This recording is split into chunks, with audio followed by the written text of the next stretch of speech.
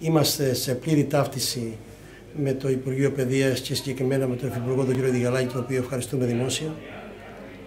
και με τις κτηριακές υποδομές όπου συντάσσεται εδώ και αρκετό καιρό ένας πολυδέδαλος φάκελος ούτως ώστε να είμαστε σε καλό βαθμό οριμότητας και παράλληλα για να κερδίσουμε χρόνο με το Υπουργείο Παιδείας, οι υπηρεσίες του Υπουργείου Παιδείας με την τεχνική υπηρεσία του Δήμα Αποκορών ε,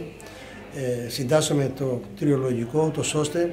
να διεκδικήσει, να είναι σε θέση ο Δήμος Αποκορώνου και σε αυτό ζητάμε τη στήριξη και του Υπουργείου Υποδομών να ζητήσει ο Δήμος Αποκορώνου δύο σχολικές μονάδες όπου θα στεγάσουν, δύο κτίρια δηλαδή, όπου θα στεγάσουν το Γυμνάσιο και το Λύκειο Βάμου.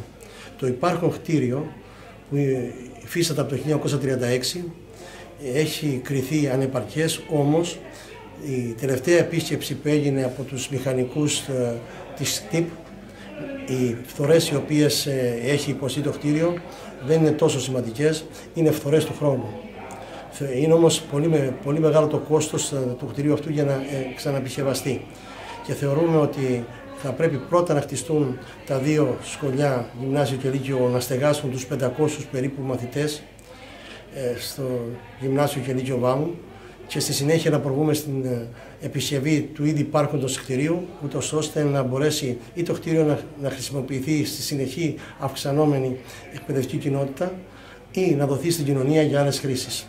Είναι 10 στο κάθε κτηριακό συγκρότημα, ε, καλύπτει